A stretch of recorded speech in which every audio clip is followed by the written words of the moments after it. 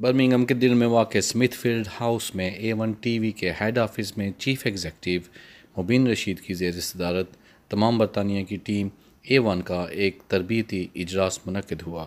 افتتاحی کلمات incharge programmes متین صحرائی نے ادا کرتے ہوئے تمام شرکا کو خوش آمدید کہا اور بعد ازاں مرکزی دفتر studio control room reporter room privacy room canteen اور عمارت کے دیگر حصوں کا دورہ کرایا۔ شامل ہوں گے تو ہم چیزیں اور مزید فردر امپروو کریں گے اور جو فیسلٹیز ہیں اور ایڈ کریں گے چیزیں۔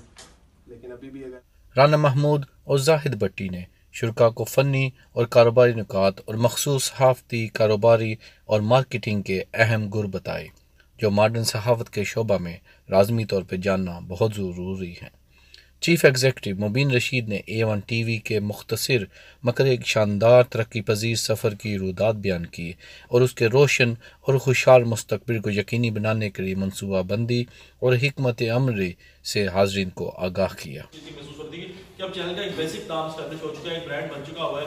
اب ہم نے ایک ڈیفرنٹ لیول کے اوپر جانا ہے۔ یعنی ٹیئر 3 سے ہم نے ٹیئر 2 پہ اور پھر ٹیئر 1 کو انشاءاللہ ٹچ کرنا ہے۔ بائی دا 1 ایئر اور جو سال ڈیڑھ سال۔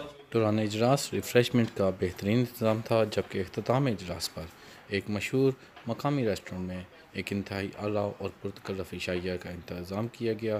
جہاں متنوع اقسام کے کھانوں سے شرکا کی توازو کی گئی۔ اس موقع پر شرکا آپس میں گل مل گئے اور کھانے کی میز پر بھی آپس میں معلومات کا تبادلہ جاری رہا، جبکہ تربیتی گفتگو بھی اس دوران جاری رہی۔ Syed Fard Abbas Kazmi A one T V Birmingham